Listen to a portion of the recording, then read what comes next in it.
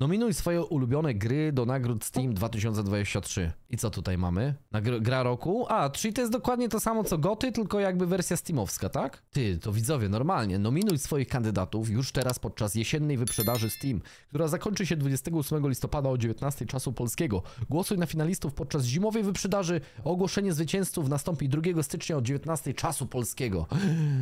Głosujemy. Muszę zagłosować. Muszę. Hej, szukasz gier? Najlepiej w atrakcyjnych cenach? Wbijaj na G2A, gdzie okazja goni okazję. Kupując od zaufanych sprzedawców, znajdziesz czego tylko dusza zapragnie pośród tysięcy tytułów. Specjalny link z promocjami znajduje się poniżej w opisie tego filmu. A jeśli content na kanale to za mało, wbij na mój Instagram, gdzie zamieszczam zdjęcia z mojego życia, a na stories wchodzę w interakcję ze społecznością, więc zostaw po sobie followa. Muszę wiedzieć, co tutaj się wydarzyło. 11 kategorii, innymi gra roku, gra VR roku, owoc miłości. A, to pewnie chodzi, że najbardziej rozwijana. Najlepsza gra na Steam Decku, razem raźniej, znakomity styl wizualny, najbardziej innowacyjna rozgrywka, najlepsza gra, w której jesteś do bani. Najlepsza ścieżka dźwiękowa, gra ze znakomitą fabułą, usiądź i zrelaksuj się. Ej, szczerze, to oni mają fajniejsze kategorie niż goty, nie? Bo tam były już tam później takie strasznie obskurne, jak dla mnie oczywiście, kategorie i często albo pomijałem, albo po prostu na, na bazie obrazka. No wiadomo, że ja też, mimo że w grach siedzę i uwielbiam gry i jestem pasjonatem gier, no to y, gram tylko i wyłącznie w to, co mi się podoba, bo mnie się podoba. Y, I no nie jestem w stanie jakby wszystkich gier ograć, a nawet jak bym miał, to bym tego nie zrobił, no bo po co mam grać w gry, które jakby nie podchodzą pod moje gusta, nie? Dobra, gra roku. A, to są nominacje. To są nominacje. I mogę tylko jedną nominację dać? O kurde. No to no Baldur's Gate, nie? Baldur's Gate. Smallland. Contraband Police. o ty, śmiesznie w sumie, że można takie ten, wszystko w co, co graliście ten dać. Nie no, gra roku, no to musi być Baldur's Gate. Nominuj. Nominowana. A, to można kilka nominować? Ile ja mogę tu nominować? Wszystkie mogę nominować, tak? Nie no, to chyba jedną. Gram w co chcę, czego nie rozumiesz. Jak to działa? A nie, zmienia się po prostu. Dobra, zmienia się. Nieważne. Jedną mogę tylko... Dobra, tak... Nie, nie, nieładnie zrobiony overlay, jestem głupi. Dobra, nominowane. Baldur's Gate. Eee, Dave the Diver, kurwa, jak ktoś głosuje na grę roku z Dave the Diver, to ma zarezerwowane miejsce w piekle, bez kitu. Najlepsza gra roku VR. Fajnie, że w tym roku nie grałem w absolutnie żadną grę VR poza fazmofobią, więc to będzie ciekawe. No, kolego, nawet Steam powiedział, no, kolego, chyba nie grałeś w, w nic w tym roku. A jakie w ogóle były gry VR? Nie mam pojęcia. Nie, no nic mi to nie mówi. No VR jeszcze jest, wydaje mi się, w takim... VR jest w kiepskim miejscu. Nie wiem, ta technologia strasznie ślamazarnie jest rozwijana. Pomijam to w pizdu. Owoc miłości. O! Owoc miłości. Z tej gierki żadna nowość, a członkowie zespołu stojącego za nią już od dawna nie myślą o debiucie swojego dziecka. Ale że rodzice z nich na medal, to wciąż je wspierają, wydają aktualizacje z nową zawartością po tych wszystkich latach. Owoc miłości. Dla mnie to jest taka ważna kategoria, bo bardzo mocno szanuję deweloperów, którzy rzeczywiście idą z duchem zamierzenia tego wczesnego dostępu, tego realizowania swojej wizji, a jednocześnie komunikacji ze społecznością i zbierania też funduszy, które wczesny dostęp daje taką możliwość, nie, żeby zebrać fundusze na dalszą pracę nad tytułem. Ale jakim chujem tutaj Hunt Shadow jest, gdzie oni jedyne update'y jakie robią to jakieś eventy, które zawsze są na tym samym schemacie i skiny do sklepu, to ja nie wiem, tutaj chyba ktoś z chuja spadł. Albo Dead by Daylight, kurwa. No super, no Aliena wprowadzili i yy, laleczkę Chucky. Właśnie, kiedy laleczka Chucky wchodzi do Dead by Daylight? Bo ja bym se wrócił do tego, będzie śmiesznie. Jest już laleczka Chucky w Dead by Daylight, czy na razie tylko na, na test testowych? No New World, no to nie, no szanujmy się. The Forest, biorąc pod uwagę, że w marcu wyszedł Sons of the Forest i The Forest już nie jest... Yy, V-Rising za rzadko, za rzadko. Tak samo The Long Dark, za rzadko update'y. Sea of Thieves, tylko ich interesują sezony, żeby karnety trzepać. Project Zomboid zdecydowanie za rzadko się rozwija. The Isle też za rzadko się rozwija. No fajnie, to są gry, które coś tam deweloperzy robią, ale no nie można. O! Z kolei Icarus. Icarus to jest bardzo ciekawa opcja. Tak samo jak Marauders. Biorąc pod uwagę, jak bardzo mało popularną grą jest Marauders, to też uważam, że deweloperzy bardzo często nie boją się wipeować gry, wprowadzać nowych zmian, naprawiać, analizować, wyciągać wnioski, ale Icarus jak sobie spojrzymy, czekaj, bo jak to zamknę, to pewnie będzie problem, ale trudno. Jak sobie spojrzymy na Ikarusa, patrzcie na to, jak tu jest najebane. Patrz, patrzcie, jak oni tu napierdalają aktualizacjami, jak z karabinu. Jak z karabinu. Oni od sierpnia, od sierpnia wydali więcej ważnych aktualizacji do swojej gry niż Seven Days to Die przez 10 lat. I to są ważne aktualizacje, to nie jest hotfix na, na zasadzie, że poprawiliśmy bugującą się tekstury skóry na prawej ręce bohatera, tylko tutaj rzeczywiście są wprowadzane rzeczy, które zmieniają rozgrywkę, nie? Więc ja chyba na Ikarusa będę głosował tutaj. Mimo, że w Ikarusa za często nie gramy, o, Sims 4, super, to mimo wszystko uważam, że powinni inni deweloperzy brać z nich przykład. Nominuję. Według mnie Satisfactory. O, nie wiem, czy Satisfactory ma aż tak dobre tempo. Szczerze powątpiewam. Nie no, co ty pierdolisz? Jak oni jedną ważną aktualizację na rok wypuszczają, ty najebany jesteś, czy o co chodzi? 14 listopada ważna aktualizacja, ostatnia była w grudniu 2022. Ty chyba pijany jesteś, synek. Dobra. Najlepsza gra na Steam Decka. No super, biorąc pod uwagę, że nie gram Steam Decka, to zagłosuję na Deceiving, bo fajnie się grało, no. W tym roku przychodzili na Unreal 5, stąd tyle to trwało. A, no to czyli zasługują na nominację w tej kategorii, bo, bo, bo robili coś dużo czasu. Nie no, super, kurwa, tu, tu, tu, tu się pierdalnicie, tu, tylko mocno. Trzymaj się, Xanonik. Yy, nag nagroda w kategorii razem raźniej. O, do multiplayer istnieją gry, które po prostu nie są takie same, gdy gra się w nie w pojedynkę. Może potrzebujesz znajomego, który osłoni ci plecy, może potrzebujesz znajomego, aby wbić mu nóż w plecy. Tak czy inaczej, uciecha czeka na tych, którzy zbiorą znajomych, by zagrać w te gry. Yy, Among Us. Kurwa, ciężki wybór. W jaką grę mi się dobrze grało w- na multiku w tym roku? Void Train. Czemu tu jest Estate Agent, który nie ma kooperacji? What the fuck? Kur- Nie, nie wiem co tutaj wybrać. O, Diablo 4, no, to. Albo na przykład Baldur's Gate. No Baldur's Gate fajny jest na multiku, ale tak samo jest dobry na singlu, więc to nie pasuje do tej kategorii. Nie no, tutaj... Ja to chyba pomijam, no bo ja generalnie w tym roku mało grałem multików. Coś tam się zdarzy, jakiś kołopik czasami, ale no generalnie no to ja raczej sam gram, nie? Fazmofobia? No ale fazmofobia też jest spoko solo. Dla mnie taka kategoria, no to to jest taka, że jakby single jest mierna, ale w multiku staje się o wiele lepsza. Takie to, trochę kurwa Hand Showdown. Hand Showdown solo jest beznadziejny, a w ekipie jest lepszy, ale nie mam nawet tutaj. Było Deliver? To? Ikarus warte ogranie, bo zachęciłeś tą opinią w sumie?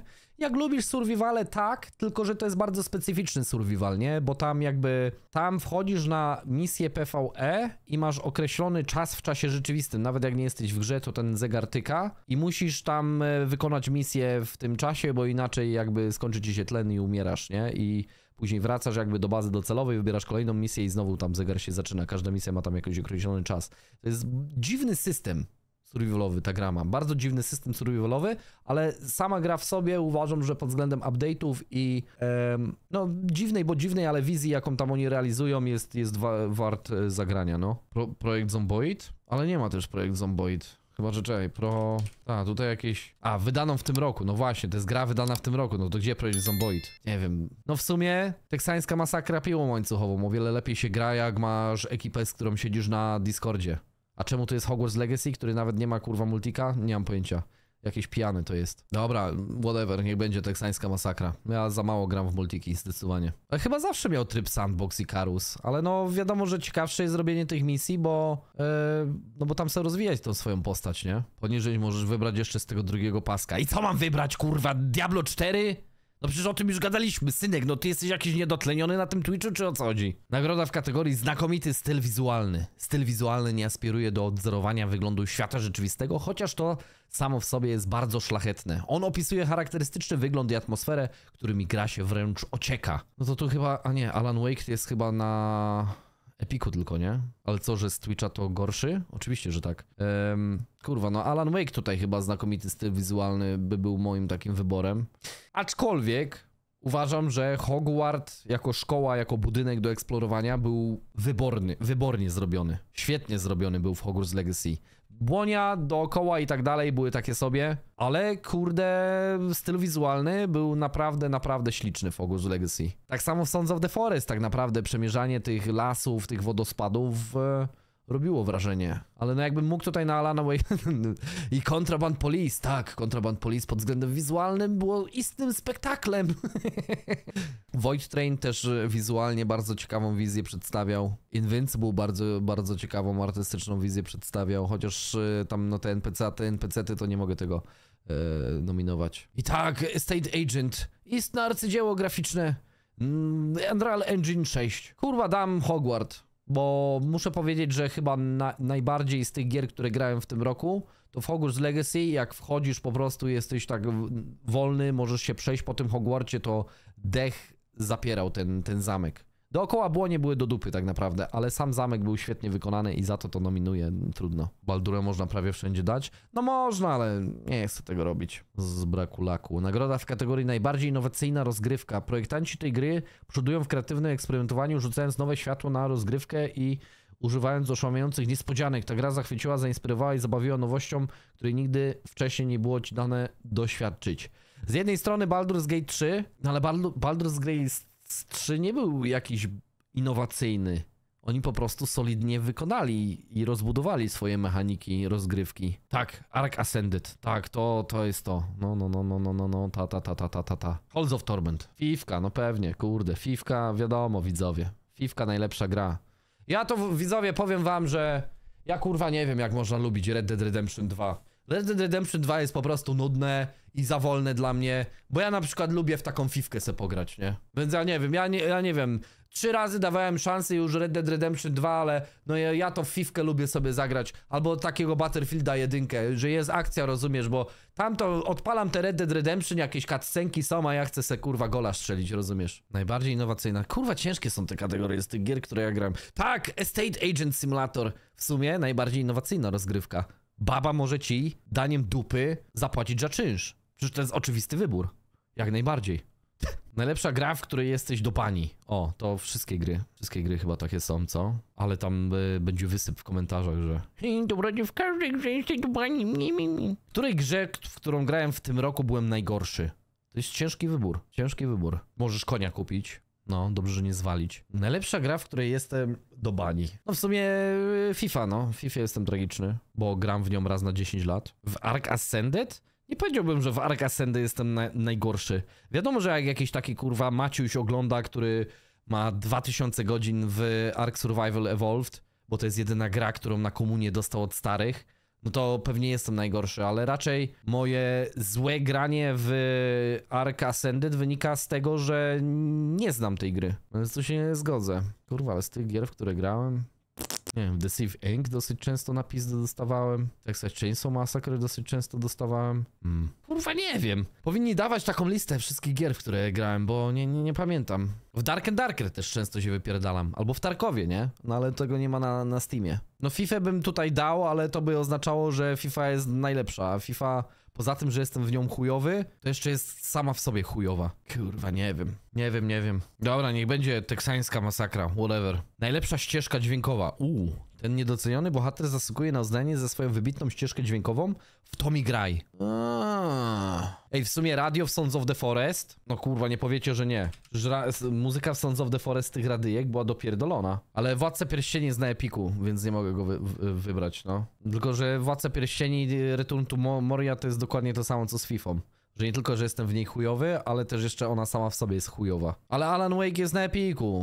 Hmm, Contraband Police, tak. Z tych gier tutaj, Invincible w sumie też y, ambient miało bardzo kurwa dobrze dobrany, bez kitu. Polska górą. Znaczy, y, Sons of the Forest jasne, ale no to nie jest jakby ścieżka dźwiękowa, tylko po prostu do radia było do, dograne te piosenki. No tak jest, znaczy, kurwa, wiem, że jest ścieżka dźwiękowa, ale chyba... O, no i kurwa, no Baldur's Gate. No tak, no tak, przecież Baldur ma... Nie, no kurwa, musi być Baldur's Gate. Szanujmy się. Baldur ma tak dopierdoloną ścieżkę dźwiękową. The Last of Us jest na drugiej liście. No The Last of Us mm, ma bardzo dobry soundtrack, nie? Nie no, Baldur's Gate nominuje. Nagroda w kategorii gra ze znakomitą fabułą. Fabułka, widzowie, fabułka. Ark Ascended, super fabułka. I Smallland też. Ty, Contraband Police, śmiechy, hehechy, ale uważam, że naprawdę Contraband Police miało dobrą fabułę. To nie jest bait. The Invincible, bo Stanisław Lem, kurde. Dreadge też, Dreadge też miał zajebisty ten. Dreadge też miał zajebistą fabułkę. Taką ala Lovecraft Cthulhu. No, teksańska masakra pią łańcuchową też super fabułka, pewnie. No i no nie, no ten Baldur's Gate, kurwa, no muszę, no Baldur's Gate deklasuje po prostu. No, niesprawiedliwe są te kategorie. Nie mogłem zrobić gra ze znakomitą fabułą, która nie jest... y, duża? Kurwa, no nie, no Baldur's Gate tutaj na pewno deklasuje fabułką. To nie, nie, nie podlega w ogóle jakiejkolwiek dyskusji, ale no The Invincible bardzo mocny tytuł, Dreadge bardzo mocny tytuł mm, i Contraband Police, mimo że pewnie się ludzie z tego śmieją, uważam, że tam całkiem fajny był motyw z tym dołączeniem do komunistów, albo, znaczy dołączeniem do rebeliantów, albo trzymanie się z komunistami. Nie no, Baldur's Gate, no kurwa, fabułka w Baldur's Gate, no to jest top, top of the top. Jest Agent, też zajebista fabułka. E, nagroda w kategorii usiądź i zrelaksuj się. Sons of the Forest. Forest. Sons of the Forest. Widzowie. W której grze byłem najbardziej zrelaksowany? Dreadge. Mega chillera była w Dreadge. Forever Skies. Też dobra chillerka była. Halls of Torment. Też bardzo dobra chillera, ale to na przedłużanym było, więc to może być trochę za, zakrzywiona moja percepcja. Sons of the Forest. Też dobry relaksik. Pozdrawiam zaprzyjaźnionych y, youtuberów. Ja dałem CS2, bo to właśnie taka giera na wyluzowanie. No jak masz 7 IQ, no to pewnie ta. Trudne wybory, widzowie. Nie potrafię jakoś sobie uargumentować danej gry, żeby jakąś przewagę wypracować. Bo na wszystko pod, spod innego kąta patrzę. A, o City Skylines. Myślałem, że o Counter Strike'a ci chodzi. To przepraszam, widzę. No, City Skylines to, to rozumiem, że chillera. Mamy ciągle do zabrania, zagrania w City Skylines. Ej, mieszane opinie? Co tam się odjebało w City Skylines, że tak e, jadą po niej? AI chujowe? O, miałeś okazję ograć kiedyś Project Zomboid? Tak, dużo grałem. Project Zomboid. Pewnie sobie kiedyś wrócimy, jak będzie jakiś update'ik fajny. Teraz chyba następny update ma być do Project Zomboid chyba z zwierzętami hodowlanymi, czy coś takiego? Kurwa, widzowie, nie wiem. Ciężko mi się zdecydować. Powiem tak, na lipcowym przedłużanym największą chillerkę miałem jak graliśmy w Halls of Torment. Pomimo dosyć intensywnej rozgrywki, która tam jest. Ale to jest trochę tak jak ten mem, nie? Że wracasz po ciężkim dniu z pracy, wkurwiony, siadasz i odpalasz najbardziej stresującą, intensywną gierkę. Jak ktoś się pyta, czemu to robisz, to jest ten mem tego y, Jacquina Phoenixa palącego papierosa w Jokerze i you wouldn't get it. Niech będzie. Niech mają. I tyle. Dobra, niech będą te nominacje, no. Zobaczymy, co wygra, ale to jeszcze w styczniu, to jeszcze kupa czasu.